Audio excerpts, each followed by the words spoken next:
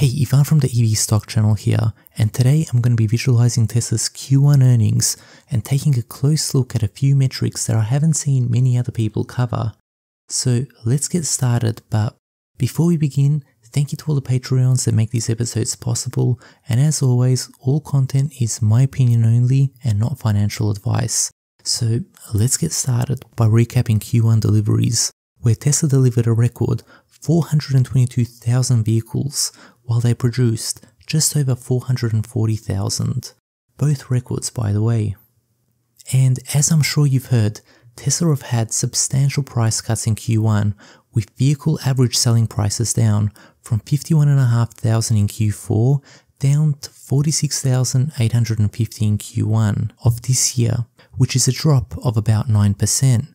So to put the two together, Sales up 4.3% from Q4, but average selling prices down 9%. And due to the average selling prices falling more than the growth rate in deliveries, we can see that Tesla's revenue was just short of Q4 from last year. But then again, keep in mind, four out of the last five years we have seen Tesla's revenue decline from Q4 to Q1. But overall, the trend has still been up.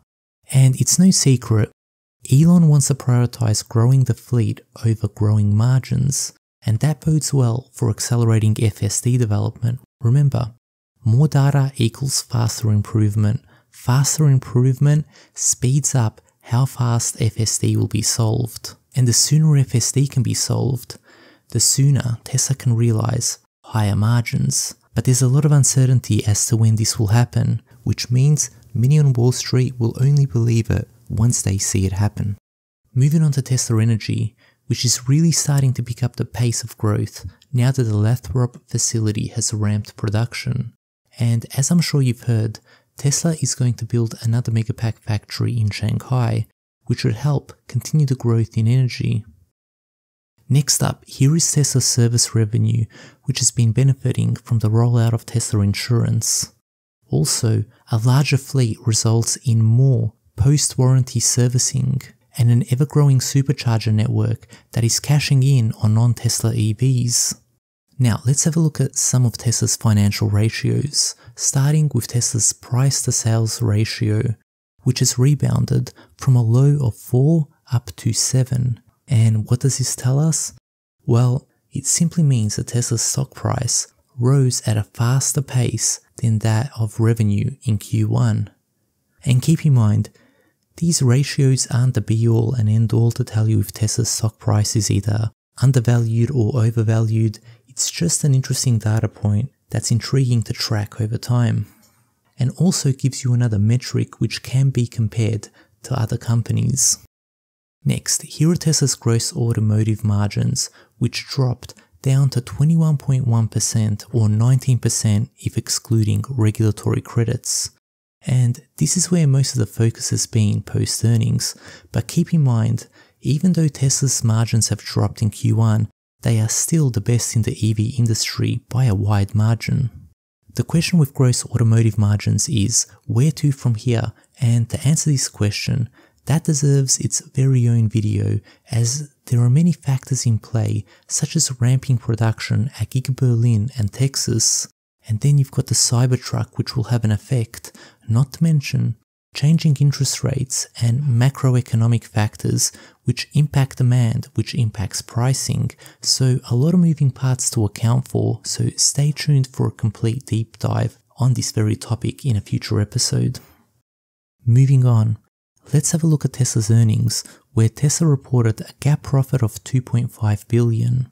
And like automotive gross margins, there have been a lot of debate as to whether this is a short-term drop or is Tesla's profit growth over.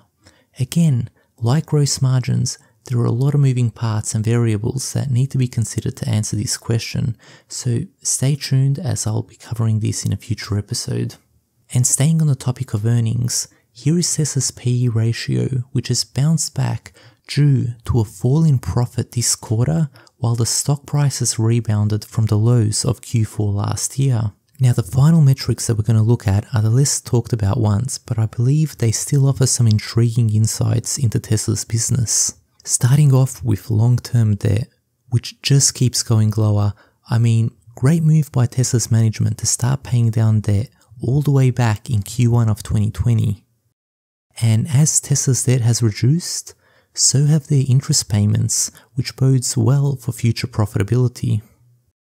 Meanwhile, Tesla's cash on hand has increased ever so slightly from the previous quarter to another all-time high of 22.4 billion.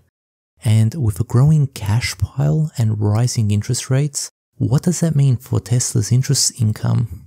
Well, it came in at 213 million and trending up quite sharply. I mean, annualized, this is now over 800 million and something to keep an eye on in future quarters.